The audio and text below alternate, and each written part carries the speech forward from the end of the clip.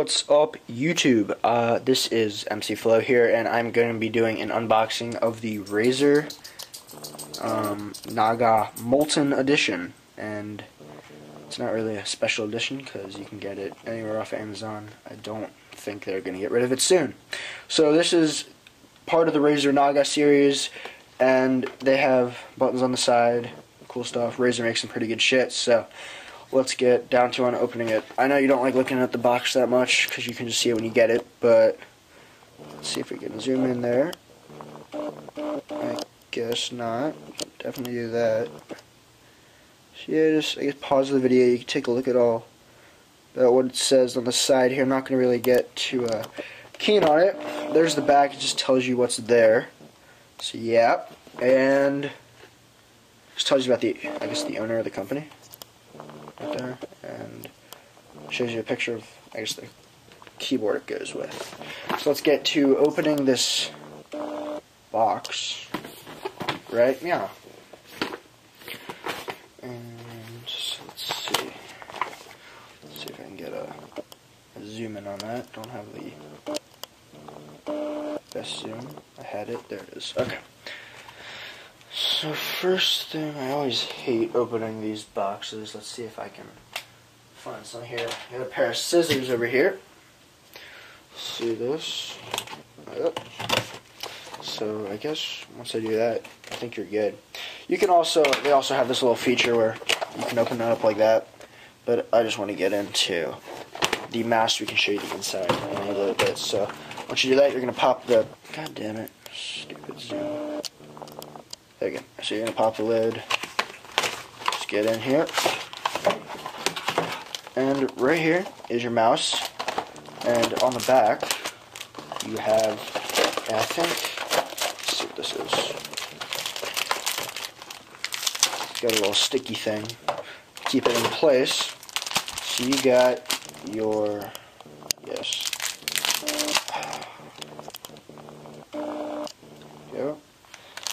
sticky thing right here. I kind of just ripped it open. You're not to need the plastic anymore. So it says right there on the back, I don't know if you can see it. Yeah, I just had it. For gamers, by gamers. www.razerzone.com. And on the front, you have a picture of the Razer logo. So let's get into opening opening it. So, right here you got all these little cards. I'm guessing there's going to be stickers and stuff, but you have all these certificate of authenticity. I guess maybe that's for the, I don't know, maybe the, what should I call it? Warranty. But right here you got stickers, stuff you can put on the buttons of your mouse so you know where you're feeling. You got, let's see, right here you got square ones. You probably can't show you the texture with this. Yeah, because it's a little too close and the camera's not the best, but we can zoom in right there. So these are just square, these are circle-ish. So you, I guess you can get a feel for where the buttons are when you need to, I guess, use the, whatever you call it, to bind them to different keys. I don't know what all these are. It's a bunch of Razer stuff. My uh, zoom is horrible. Uh, stickers you can put on your laptop, maybe bike helmet, scooter helmet, whatever you want to do. Put on your door. Uh, you have a little I think, manual, maybe, and more of these books. Books. So let's get to the mouse. I'll put all that crap back together later. This is the mouse itself, right here. And I guess see me. I don't actually care. So you're going to take off this plastic here. And the mouse should just pop out really, really nice feel. Let me just pull it out so you guys can see it. Give me one second here. Um, there we go. So we now have that out. And here is the mouse right I had it. Jesus. There we go. So you can already see it's kind of got the design coming in, and there are your buttons on the side. The click is really nice, and it's got a really nice surface, so you might wear it down over time. You got plastic on the back, you can always remove that, so I guess I'll do that right now. And there it has it, there's your back. Um, you got your, I don't really know what that is, but you got rubber around the outside. Let's let it focus in. Okay, you got rubber around the outside. And yeah, really awesome scrolling wheel. I think that should light up once we plug it in. So, and see if it'll capture it again. There we go. It really, like, I can, I have small, smallish hands, so I can always connect to it or get to all the keys. And you have two buttons up here, which kind of going to be hard to get to. But yeah. And let's get this thing hooked up to my Mac. Oh, and the cable right here. Let's see if we can zoom in on the cable. Yeah, I don't know if that's going to work. Might be able to do that. Yep, there you go. You can see it's, it's threaded kind of different than other cables.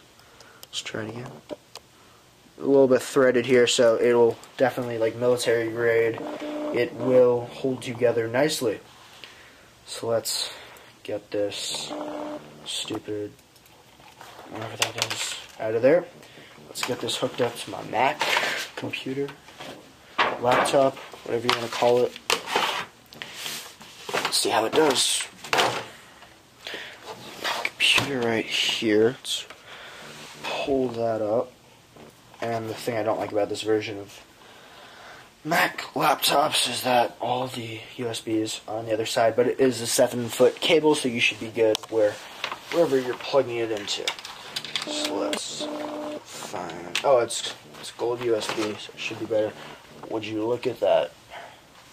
That is some pretty sick shit. Let's see if it can focus in by itself.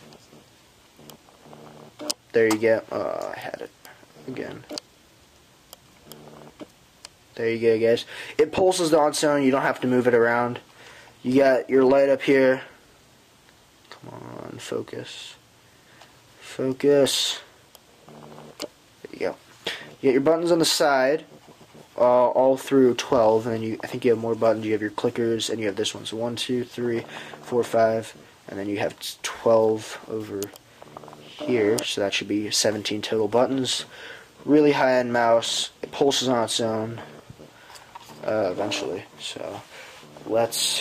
What I should do is I will stop the video right now and continue it once I'm on the computer. So thank you for watching the unboxing, and I will get to how to install the drivers in a minute. Um, so let focus. And there's your mouse, guys. Really awesome quality, and it fits perfectly for my my hand, my hand size. And you can also be down here. That's what they want you to do. But yeah, so I'm gonna stop the video right now, and we'll get to the drivers in a minute. Okay, guys, I am back, and I have installed the driver software. But just to give you a rundown of where that is, you will go into your browser, and I don't know why this is my homepage. And we are already on Google, but you can still search up Razer support.com and that is the website it gives me in the notebook that they gave me called Master Guide. And once you are here, I guess this is not the right area, so I'll just look it up on the Google homepage if I can get there.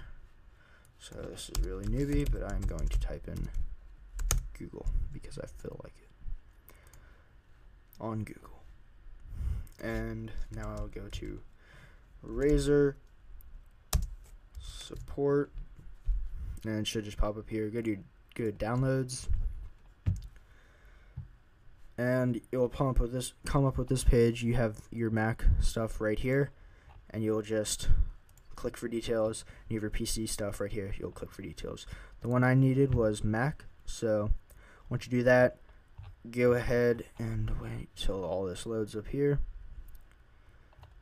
And there should be something down here once it loads that says um, whatever it says it should say download down there. It's still loading, so give me a second here.